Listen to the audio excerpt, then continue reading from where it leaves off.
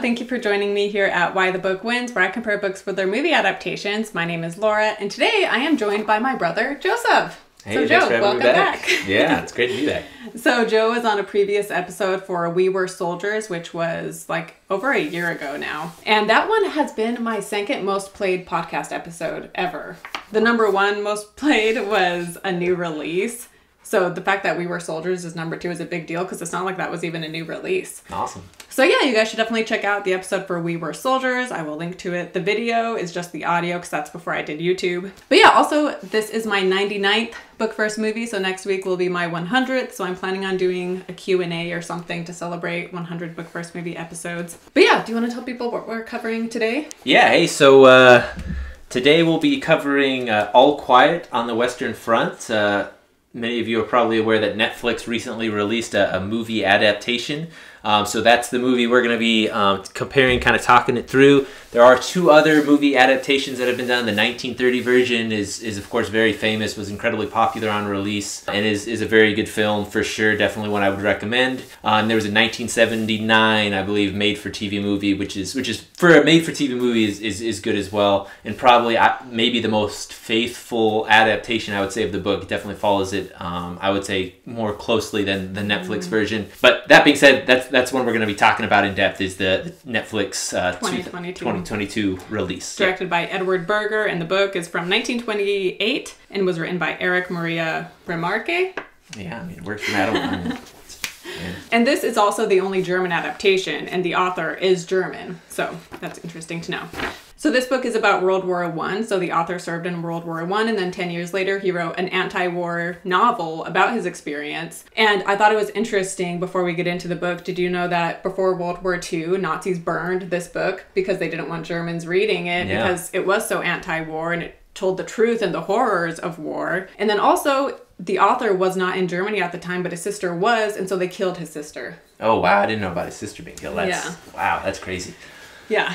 And so, so yeah, it's about a guy, Paul, in World War One, fighting on the German side. Right from the start, we see that he is disillusioned and uh, with the horrors of war. But yeah, what were your general book thoughts? Also, you suggested covering this one. So, like, was there any particular reason, or just a new release, and that's why? Yeah, so uh, I had read All Quiet on the Western Front when I was in school uh, about 15, 20 years ago. I think either junior high or high school. Uh, I saw the trailer for the Netflix movie, and, and I, I thought the trailer was really, really good. I actually um, was like, this, this actually, I think is going to be a super good movie. And so as soon as I saw that, I was like, oh, this is like a perfect opportunity. You know, All Quiet on the Western Front is uh, like a classic. You know, by by anyone's definition, it was incredibly popular upon release. Yeah. Uh, initially in Germany, it became a worldwide success. It was a the, the number one bestseller in America in 1929, and it has definitely stood the test of time. It it is basically the gold standard, um, I would say, for you know kind of first person perspective um, in war. There's some other really good books that have been written since in terms of like novels. Um, you know, Catch Twenty Two obviously is incredibly popular. Slaughterhouse. My favorite of those would probably be uh, with the Old Breed, which is a World War II. But this this one is like like I said, I think the gold standard and is uh, uh, definitely a book I would recommend for anyone to read. Yeah, and also we have so many books and movies about World War One, so it was interesting to read about World. Or sorry, did I say we have so many books and movies about World War Two? So it was interesting to read one about World War One because I feel like it just doesn't get written about as much. Yeah, yeah, I kind of feel like it's coming back. Uh, you know, with uh, um, 1917, which was recently Oh, yeah. released, which was Yeah. another World War One, That was a good one. um, which which I enjoyed for sure. Um, so I had never read this book before, and there were like so many scenes that were just so vivid, and it was more graphic than I expected too.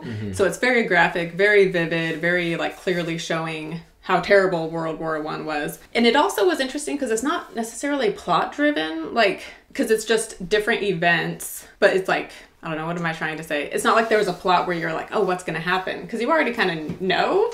And so it was just these different scenarios within the war and showing how he was affected by these different situations. Yeah, and I think a lot of that has to do with the way it was published. So when it was initially published, it was part of a periodical. So Mm. each chapter was released, and this this obviously was very common. If you look at uh, you know the Christmas Carol, that's how that was released. So uh, it wasn't unusual, and then it was so popular in publication that as soon as it was done, it was it was uh, released as a novel, and obviously did very very well there. So yeah, I, I had the same sense. It's almost like you know eight or ten or however many scenes where you like shows you depicts almost a short story. Yeah. It just happens to be the same person um, Yeah. throughout. And I, and I would say of those short stories, there were really three that stood out to me the most. So when I when I chose this book and I was rereading it uh, for the podcast, there was one scene that I was kind of waiting for because I remembered it really well, and it was the scene. And it's pretty early in the hospital where it's his friend who's who's in the hospital and he's dying and he's um, visiting him. Actually, that's not the scene I wanted to talk about. Uh, I would do want to talk about that one later, actually. Yeah. But the the scene that I remembered was the one where he goes home Oh. and he's like going back to Germany, you know, his town that he's from, and he's visiting his family. And then at the end of that that chapter, it ends with him saying like, "I should have never gone home. Like it was a horrible idea. Like not not a positive experience."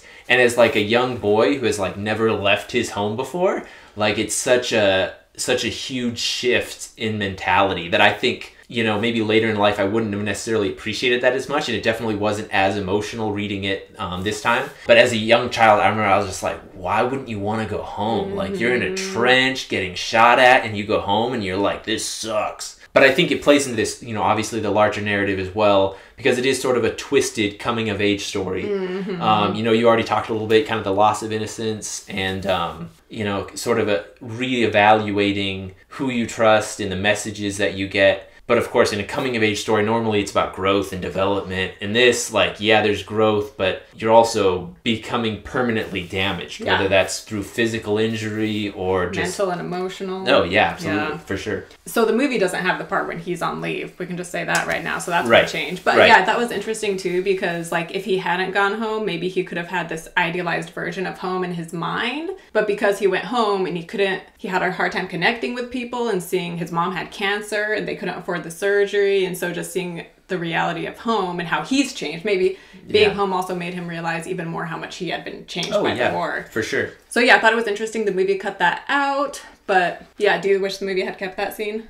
Um, so I, you know, obviously, whenever you're turning a, a book into a movie, there's some things that just don't lend themselves as well to you know the visual form of, of film. So overall, um, I liked the Netflix version. I definitely like give it a thumbs up. I'd recommend people watch it. Um, I enjoyed it, but I do think it missed some of the character development that the book had. Um, and, and part of that too was they added some scenes. So if you look at like all Quiet on the Western Front, the book, it is told completely from Paul's Yeah. perspective. You never see anyone else's perspective. He never tries to see the world from anyone else's viewpoint. This is his experience in the trenches of World War One, and and there's a little bit of obviously the precursor as he's getting ready and training up, and then his like leave. But besides that, like that's that's all it is. Whereas the movie, you get a couple scenes with the general, you get some information about the armistice and kind of you know the the German side, how that came to be, uh, and and I think some of that I get it kind of has to happen, right? So you kind of talked about the the book was published in 1929, World War One ended in 1918, so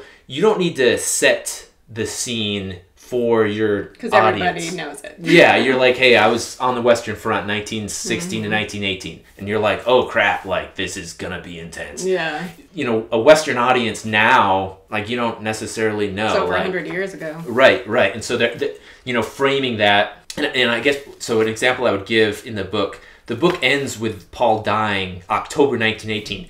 There's there's no reference to the armistice. There's no date. Mm-hmm. It's just like yeah, he died October 1918. And I think when I read it the first time, I think that kind of went over my head that it was like a month away, like Before weeks away, maybe days away from this armistice being signed and the war being over. And so I think the movie wanted to kind of highlight and give a frame of reference of, you know, what's going on in the larger, you know, German population at large. And, and I think the juxtaposition was significant. Like Yes. every time they show, you know, the trenches, it's dreary, it's dark, it's They're like starving. yeah, it's almost like very black and white gray. And then so colorful on the train, and Yep. the scene where the guy is complaining about a day old croissant. Yeah. All the soldiers are Yeah. starving. Like having rats eat their bread. Yeah. So I Yeah. Mm-hmm. did like how, yeah, I went back and forth with that. And then also I wanted to mention Daniel Bruhl. I think that's how you say his last name, but he was the actor from Inglourious Basterds. Mm-hmm. Yeah, yeah, yeah. So that was cool seeing Yeah, him yeah, definitely. And I liked that addition of the character. I think it was valid. The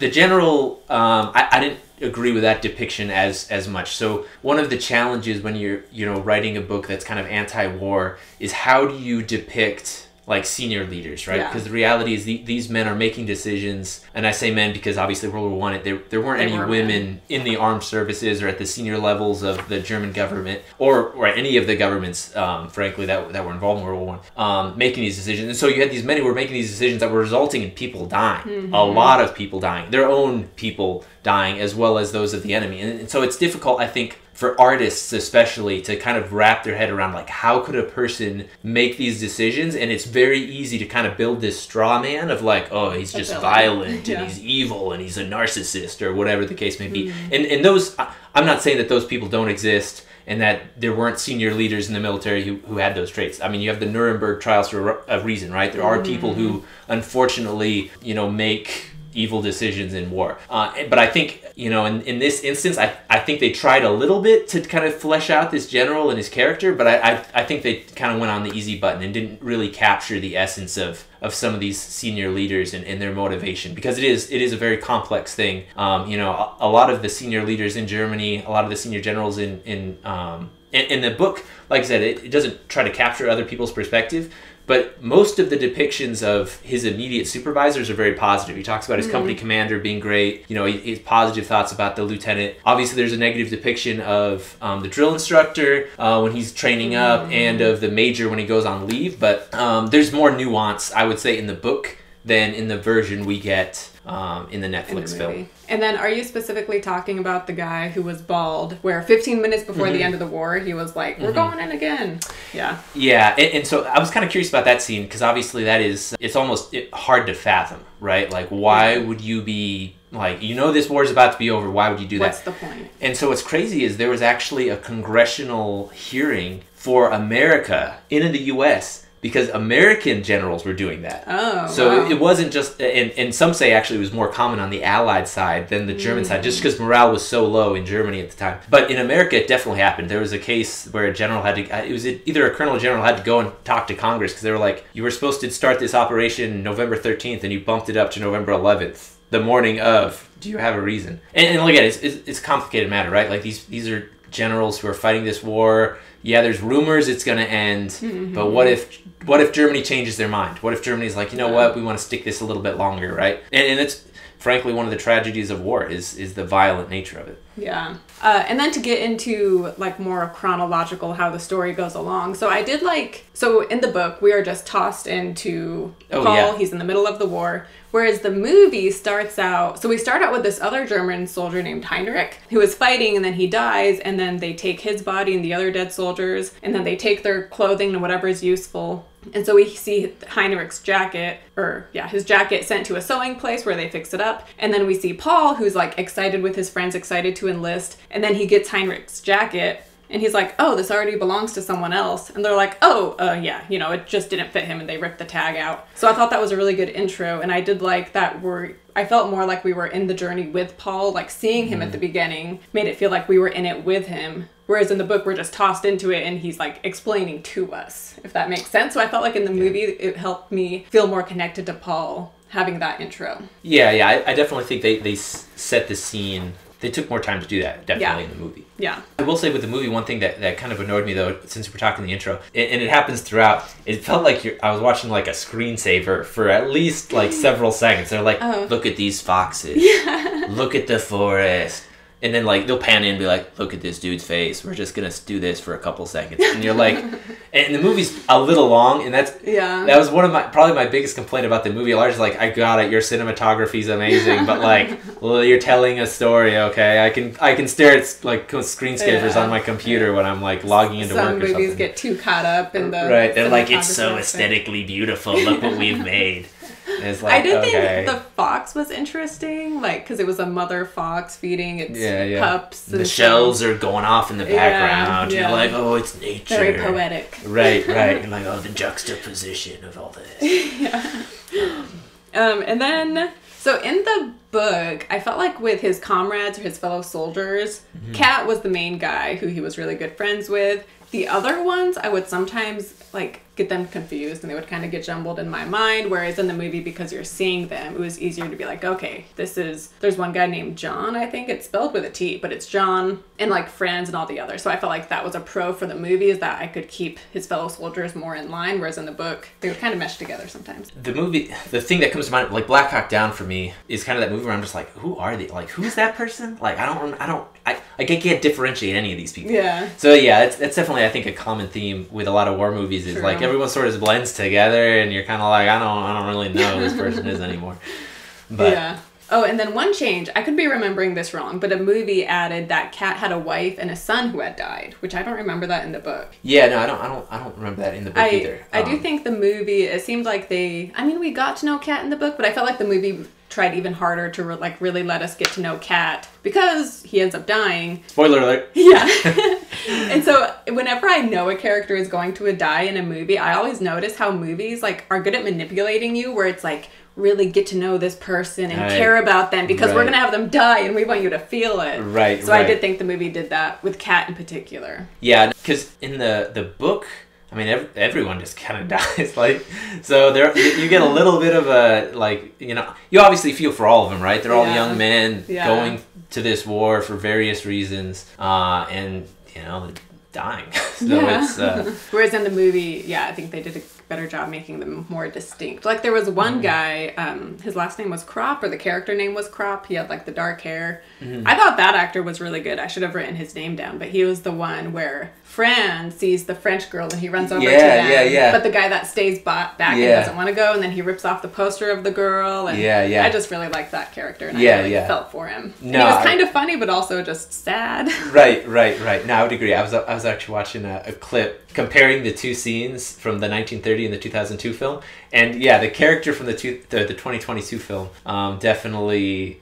I don't know what it is. You sort of have this like there's a comedic element, Yeah. but there's also like pay, I don't know. You're definitely like empathizing with him. You're like, oh man, I can totally see myself chilling at the front with this guy, and he's over here just sort of you know yeah. character. And speaking of the French girls, that's another change. Is in the movie, it's just one guy goes to hang out with them, and we don't see what happens. Whereas in the book, like all of them go over because they see them Mm-hmm. earlier, and then they go over to the French girls' home later that evening. Uh, so we see Paul as he interacts with these French girls. Do they have sex? I don't even remember now. Uh, so Pa- Paul, I think some of them probably do, but I, don't- I Paul don't. just talks to her. yeah, yeah, Paul Yeah. is sort of classic, but um, Yeah. Yeah, th- so there was um, a, a lot of changes. So I'm gonna be honest. The first 40 minutes of the movie, I was kind of like, this isn't all quiet on the Western Front. Like, this is like a World War One movie. Yeah. Like after that, it's they start borrowing much more heavily from the book. But at, like the first 40 minutes, a lot of artistic license was taken, in my opinion. Yeah, because there's a scene at the beginning of the book that doesn't happen. Like when the guy, when they want to get their food, and he's like, "I have food for this many people." Yeah. like that whole thing Yeah. happens near the Like- end of the movie. Yeah, the and that's third. the first scene Yeah. of the book. Like, Yeah. That's literally how it starts. And then also in the book, there's the part where they're visiting the guy in the hospital, and they know he's gonna die, but they're trying to make him feel Mm-hmm. good. And one guy wants his boots because he's like, I mean, he's gonna die, and someone's gonna get his boots, and I want them. Yeah. And that also wasn't in the movie. Yeah, which is crazy because in my so you know I talked a little bit about the scene that I remembered the most as a as a you know younger kid reading it, but it like th- this time and as I was reading, obviously I'm sort of remembering it, uh, reading it the first time too. But the most emotional scene, in my opinion, was that scene with this soldier who's like slowly dying in front of him, uh, and apparently it was also like a very um, controversial scene in Germany Oh. because they were like, "Whoa, whoa, we had really good hospitals, stuff like that wasn't happening." Um, but I think it's it's really powerful for a couple reasons in the book, and one of them is it's giving you perspective on the scale, which like it doesn't really happen. Most of the book you're just focused on this character, a few of his buddies who are in this squad, and that's it. But this is a scene where like they, they grab the doctor and he's like, "Oh man, I've been doing like however many surgeries today. I don't remember who this dude is." And that's when you're just like, "Oh man, like this is insane. Like this doctor has done so many surgeries, he can't even differentiate. And it's not so many surgeries like over an extended period. Like today, Today. he has literally cut off uh. like multiple people's limbs. And another scene that was not in the movie, but in the book later on, Paul and some of his other comrades are in a hospital and they're in a mm-hmm. hospital train. But yeah, they don't make the doctors look good because they talk about how quick the doctors are to amputate. And some of the doctors, like, they would manipulate soldiers into agreeing to be amputated because they would be like, no, like, or no, it was the flat feet where he's like, he's gonna try to fix your flat feet, but like, don't get him to do it. Mm-hmm. But then they both do agree because the doctor kind of manipulates them. So some doctors almost seemed it almost seemed like they saw it as a way to experiment on these soldiers Yeah. and try to do this or that. And that wasn't in the movie either. Yeah, it was the. I think maybe this scene that gave me like sort of the biggest like, oh wow, was the scene uh, at the end where they are visiting their friend in a field hospital, and he grabs the fork and he's like, Hmm. Yeah. and you're just like, oh gee. Yeah. But that's not in the book. The- although they reference a guy who they had to keep Yeah, silverware away from, and he probably had attempted it before. Um, so it's that it's not like that was like some sort of artistic rendering that's totally unrealistic. Like I, I'm sure it happened. Yeah. And that scene in the movie, which we're jumping ahead, but that scene made me cry in the movie, which I thought there was a scene in the book we'll get to, and I thought that one would make me cry in the movie, but it didn't. But it was that scene in the movie when uh, it's the guy named John and he's in the hospital and they go get food and they bring it back to him. And like Kat and Paul are in a good mood and they're like sharing the soup with this guy, thinking he's feeling better. And then while they're sitting in front of him, he stabs himself with the fork. And yeah, that was such a sad scene. Also, just building up because all this horrible stuff has been happening. And then something about that scene is just like, man. So it was a great scene, but uh, really sad one.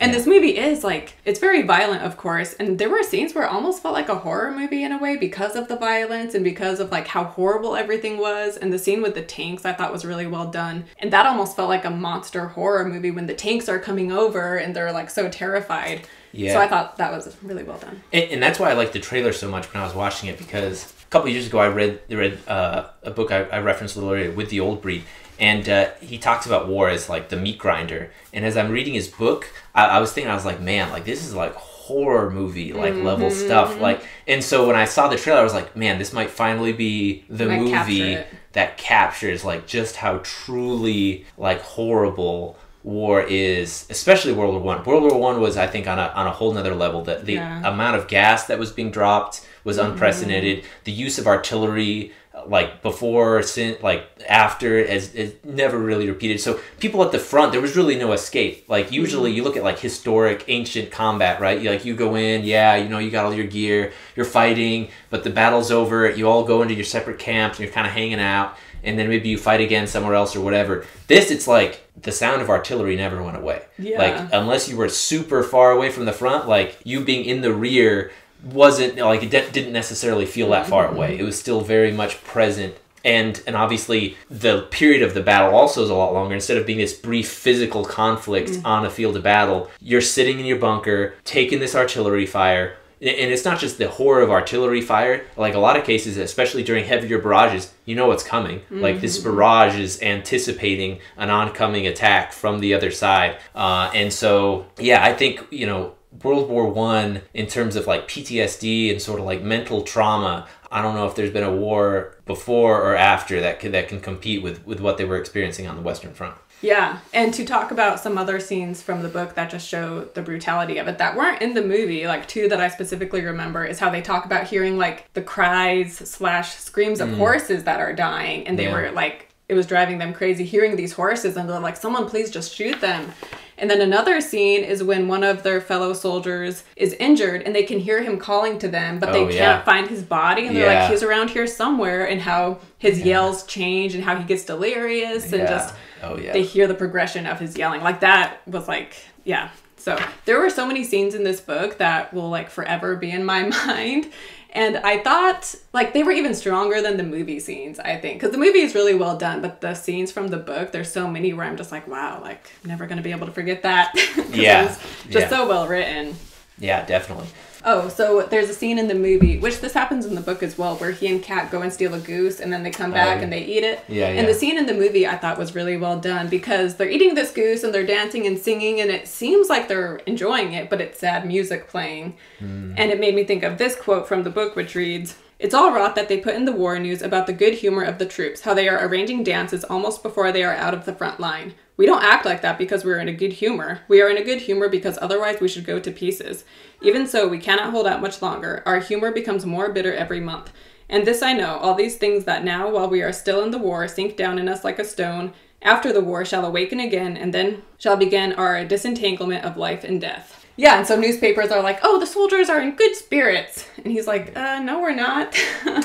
Yeah. So that scene I thought really captured that quote from the book. Yeah, it, and so um, interesting enough, so Ernest Hemingway obviously was a contemporary as well during this time. Uh, he also participated in World War One, and so he, he's written quite a bit. And uh, he wasn't referencing this book particularly, but he kind of talked about how during the war, like so much in terms of literature was suppressed. Like poetry, yeah, some of that anti-war managed to make it into the press, but it was very difficult for an author to be able to to publish anything, whether it was in a newspaper, a periodical, whatever, um, because at the end of the day, I mean, they're, they're trying to get soldiers to, to feed this war machine, right? So the last thing you want is this narrative of, oh, you know, this war is horrible, like, you don't want to join, like, everyone's lying to you. You know, this book, obviously, I mean, it took 10 years Yeah. before it was finally able to, to publicate, and I don't know how long he was writing it, and um, but, but definitely I think a lot of authors who kind of supported, like journalists who supported this war machine, obviously after it's like it's it's tough to take them serious, and I'm sure many of them their career was over, and, and rightfully so for Yeah. you know feeding what ultimately was the death of a lot of people. Yeah. So we talked about the part where we see the negotiation negotiations with the mm-hmm. leaders,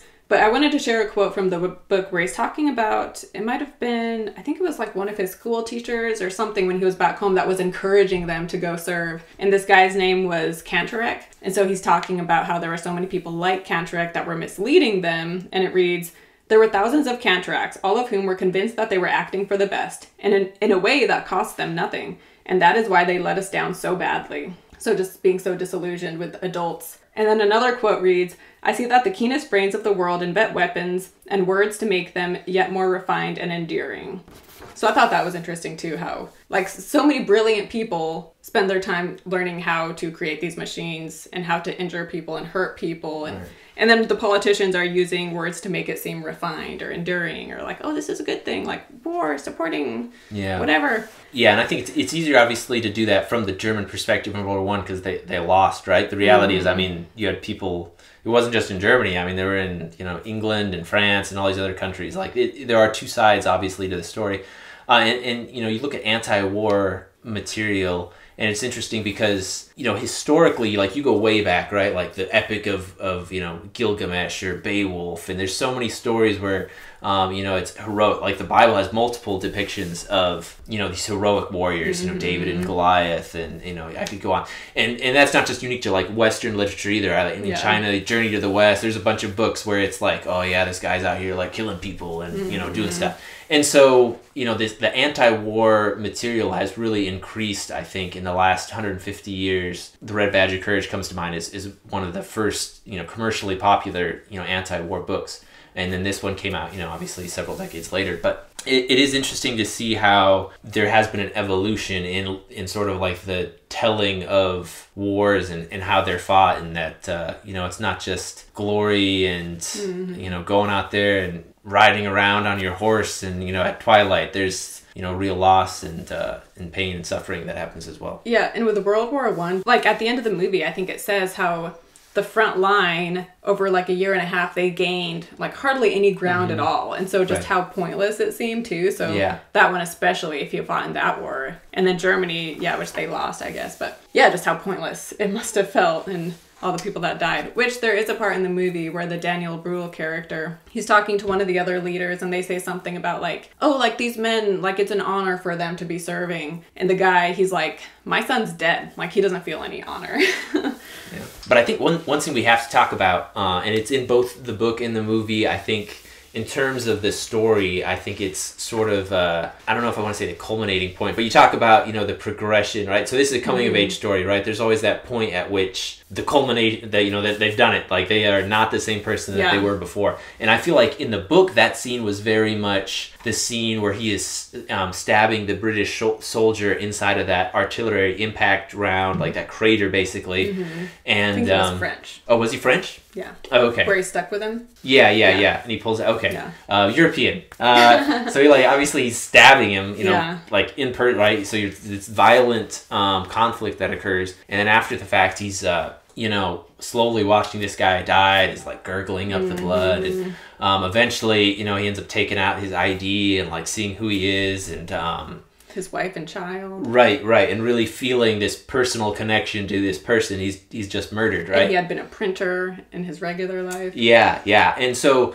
for me, you know, you see this a lot in um, you know art where there's like this sense of being an observer, right? Like you're observing this war, you're not necessarily an active participant, but at this moment, like it's inescapable, right? You've mm-hmm. literally just killed this dude. Like mm-hmm. it wasn't just to pull the trigger, like you. It was um, personal. Very personal up up front, and and now you're confronting it face to face. You know, it's it's a really powerful scene, mm-hmm. but I think the movie almost moves the needle past it a little bit more because I, I don't really think Paul gets any more violent in the book, right? Like that, that sort of becomes, you know, that, you know, yeah, he keeps killing people through the movie mm-hmm. as this soldier, right? Because that's what he's told to do.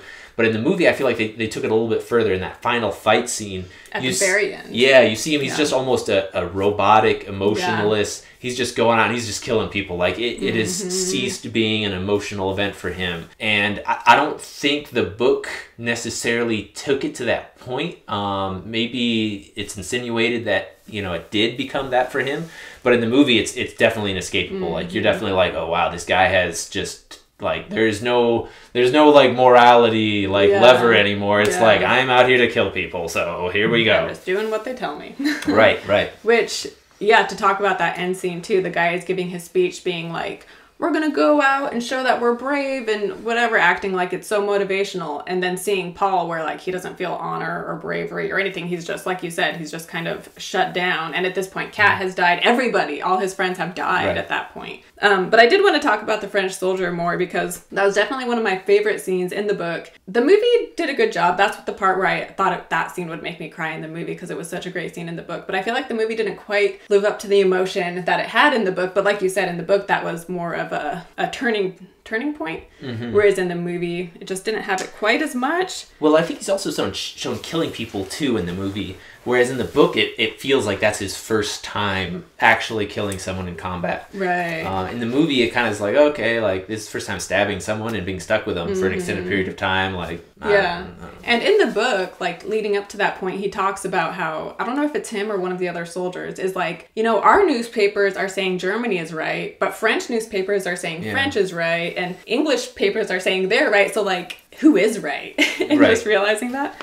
Um, but I did want to share a quote from the book with this French soldier where he sees his name and he sees he was a printer. And Paul starts to be like, wow, after this war, I need to become a printer to make up for the loss of this printer mm. in the mm. world. And um, so seeing the humanity, I guess. But so I'm going to read this quote Comrade, I did not want to kill you. If you jumped in here again, I would not do it if you would be sensible too. But you were only an idea to me before, an abstraction that lived in my mind and called forth its appropriate response.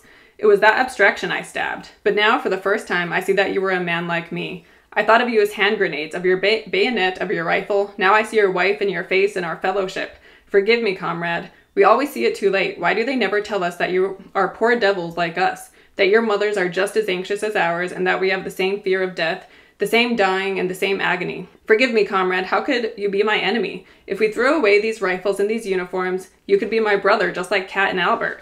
Take 20 years of my life, comrade, and stand up. Take more, for I do not know what I can even attempt to do with it now. So, yeah, such a great scene in the book. Yeah. Yeah, super powerful for sure. Um, and I think, you know, so kind of bringing it modern day, right? You look at the, the you know, current conflict in the Ukraine, um, in, in, in the Russian invasion there. And a lot of the international community's response is an attempt to, to try to have the people who are causing the conflict suffer or at least feel the pain in some way, shape, or form, right? The mm-hmm. seizure of their uh, international assets, um, you know, freezing their ability to travel outside of, of Russia, uh, because you know, historically speaking, right, it's it's ultimately the the soldiers on the ground usually who, who pay the highest price. Although mm-hmm. I think that's one thing about when he goes on vacation is is there's a realization that it's not it's not just the soldiers who suffer, right? Like yeah. the, the his family's on food rationing, they can't get meat, like there's a limited amount of food. His mm-hmm. mom's dying of cancer, like probably has very limited availability of, of medical personnel because probably so many of them are forward at the front. So it is really, you know, in terms of the book, it kind of shows you that, yeah, hey, it, obviously the soldiers are carrying the brunt, but there was an international price to pay. Mm-hmm. and then moving on to Kat, I guess we can talk about him because so in the movie, it's after John kills himself with the fork. It's him and Kat go off together, and then they like are hearing rumors I think that the war is coming to an end or something. And then they decide that they're going to go steal a goose again from that French ranch, French farm mm-hmm. that they had stolen a goose from before. So they go back there and they try to steal it. They get some eggs, but then the farmer and his son come out and are shooting at them, so they're running away. And then later when they're in the forest, the farmer's son shows up and he shoots Kat which seems so random to me. Yeah, I and say. I was like, I, like, I was, I really wasn't a huge fan of. I, I'm assuming they're that. saying something about like, uh, like the younger generation learning from our actions, and this son is violent because of the violence of the adults. I'm not really sure because in the movie doesn't or in the book he just gets like a random shot. Yeah, in I mean, battle or yeah, something. like just another day at the front, you know, yeah. and it's like here he goes. Yeah, so I, I, I don't know how I feel about that change in the movie. I, I was kind of thrown off by it. Well, another huge change though is um so they show the injury right. He's exposing it. Yeah. it's like clearly an abdomen wound. Like you know, it's World War One, so modern mm medicine, you know, isn't, isn't quite there. Dude's probably gonna die. Like an yeah. abdomen wound in World War One, not not good. Um, in the in the book, it's like his lower leg, and um, you know, Kat like I think puts a tourniquet or, or sorry, Paul puts like a tourniquet or something on there, and there's like he's pretty confident the dude's gonna be okay. You yeah. know, and uh, the only reason he's dead by the time he gets him to the field hospital in the book is because they happen to have been hit by artillery as he's as taken he him. him. And there's like a shrapnel that went through the guy's skull and like clearly killed him. Like, mm-hmm. would he have still died? I mean, yeah, obviously it's 19, you know, 18, yeah. World War One. Yeah, you know, if you get injured, there's definitely a chance you're gonna die. But in the movie, it's like the dude got shot in the abdomen at point blank range by this little kid. And then he has to carry him for a while to get to the hospital. So yeah, I wish the book would have kept it the same because in in the book, I sort of like assumed most of them would die because that was kind of the vibe that I was feeling. Mm-hmm. But I still thought it was sad though when he gets there and the doctor's like, "Oh, you should have saved your time," like because he's dead, and he's like, "Wait, what? I was just talking to him." Yeah. And in the movie, also because going into the movie, I knew he was gonna die, so maybe that changes my view too. But yeah, not that it was unexpected in the book, but like you said, like the fact that it was just a leg injury, so it was like, oh, like mm. he should be able to live even if he loses a leg. But right, yeah. So yeah, and then to move on to the ending, unless you had any other thoughts from no, I think I think I, have hit my high points for yeah. sure. So yeah, in the book, Kat dies, and then from there, it's actually like a really poetical section where he talks about the summer of 1918, and then he describes something, and then he's like the summer of 1918, and that keeps repeating. So it's this very poetical segment near the end, and then the book cuts like because we've been hearing it from first person perspective but then the mm-hmm. last few sentences of the book like you said read he died on october 18th uh, and it describes his death i don't know if it said he had like a smile of relief yeah well i mean we can, if we i'm remembering can, i mean we can pull it out yeah. real quick um because yeah it's it's very short yeah and it was i that surprised me of how abrupt it was and that it switched perspectives when he died yeah so like uh, so you can kind of see here there's, there's basically just two paragraphs mm-hmm. right i'm not gonna read the whole thing but uh, he fell in October 1918 on a day that was so quiet and still on the whole front that the Army report confined itself to the single sentence All quiet on the Western Front. He had fallen forward and lay on the earth as though sleeping. Turning him over, one saw that he could not have suffered long. His face had an expression of calm, as though almost glad the end had come. And I read the whole two paragraphs. I guess I lied. yeah. But yeah, it, that's one thing I think a lot of times, um, you know, with modern movies, everything gets dragged out so much, and it has to like it almost feels not anticlimactic, but it's just so sudden. Yeah, you're just like, oh man, but that's how life is, right? Like mm-hmm. you don't you don't see it coming, and then suddenly it's like it's done. You don't get like a thirty minute period of like, no, don't let go, you're gonna make it. Yeah. Um. So I mean, I guess that that could happen. but yeah, in the movie, which the movie it wasn't as abrupt as that but i did like the movie like you said he has that moment where he's mm-hmm. having a hand-to-hand combat with this other soldier in the last 15 minutes of the war like it's about to be mm-hmm. over uh, and then they like go inside this um not tunnel like, like the, inside this room yeah like down the bunker. in the trenches yeah, yeah the bunker, bunker. Mm-hmm. And then they kind of pause and they're both just staring at each other. And so the French soldier, you know, you can tell he's kind of having that same experience where he's just like, man, like, you're just a guy like me. Mm-hmm. And then Paul gets stabbed from behind from some other soldier. And then the two French soldiers leave and then he dies. So yeah, I did think it was a good ending to the movie and I, I liked it. And then we see another German soldier after the war is over, and he comes over to get the dog dog tags from the dead soldiers, and we see him take Paul's. But yeah, I think for this book and movie, like like I feel like it's so fitting that Paul dies at the end of this, right? Like at the end of the oh, book, yeah. if Paul continued living, I don't know. I feel like having him die really is the only ending for a book like this. Yeah, I mean it's it's a tragedy. Yeah. So it's I mean, and it's kind of completes it. and it's a tragedy too that if he did live and went back home, like how changed he is. But we already Right. saw that on leave, right? Right, so right. we already got a taste of that, of just how hopeless the situation is, whether he lived or died. Like it's just not good either way, really. But in the end, um, yeah. So I thought it was a very fitting ending. Yeah, yeah. Obviously, the whole German general scene, I was like, eh. but um, I, I think they did capture, you know, the tanks and kind of this this Mm-hmm. idea that hey, that the war was really starting to turn against the Germans there at the, the final stretch, and I, I thought the final final fight fight scene was was was well done. Mm-hmm. Um, but yeah, overall, like I said, I, I like the movie. You know, I, like it's always like out of five stars, it always makes more chances. That's why I was like, I'll give it a thumbs up. but uh, I, like I definitely wouldn't do five out of five. I don't even know if it's a four out of four, maybe a three point five out of four. I don't know. But um, I think on Letterboxd I gave it four. oh, you gave it And on Goodreads, I gave the book four stars too because I felt a harder time. Like I didn't feel as connected to Paul in the Mm. book. But looking back, I'm like, man, this book probably deserves five stars because maybe the character development, like maybe wasn't my preferred way or whatever. But Mm-hmm. still, like the book is just so well written and it's so vivid and it's definitely one that will stick with me. So I should adjust my Goodreads. yeah, you go back uh, five star. Yeah. Yeah, no, like I said, I'd, I'd recommend the book to, to anybody. Definitely, Yeah. if, if you're an avid reader and a, a fan of 20th century um, literature, I don't I Mm-hmm. don't think this is a book you can you can afford to not read. I think it's uh, And also because it's World Great. War One, like I said. yeah, yeah. I mean, in terms of like fictional World War One books, it's the must read for sure. Um, not necessarily my favorite fictional World War One book, but definitely definitely up there. And you know, like I said at the outset, right, a book that stood the test of time has remained incredible. I mean, the three movie adaptations is is pretty impressive for, for a film and uh, for a book, I should say. So it's Yeah. it's definitely a book that's uh, stayed relevant Yeah. and and and I will say the 1930 film, like pretty incredible. I, like watching it, like I- I'm a fan of old movies in general, but seeing that movie and how well it stood up to to you know almost hundred years now, and you're like, wow, this movie is like impressive. How how they were able to film it and what they were able to capture. Yeah, I'll Um, have so- to watch that one. Yeah, yeah, for sure. Maybe do a comparison. You know, 19. Yeah, a follow up video. yeah, yeah, yeah, for sure. Um, but yeah, so I guess we agree the book wins here. Oh yeah, for sure. Um, yeah. And this movie, though, it's Germany's submission to the 2023 Oscars. I don't know what Oh, wow. other, I haven't seen any other foreign movies, so I'm not sure. But it'll be interesting to see how it does at the Academy Awards this next year. yeah. Uh, so definitely one worth watching. So yeah, thank you for watching this. Let us know down in the comments down below on the YouTube video what you thought of this book and this movie. And if you've th- seen the other adaptations, definitely let us know your opinions as well. And thank you again to Joe for joining me yet again, back by popular demand.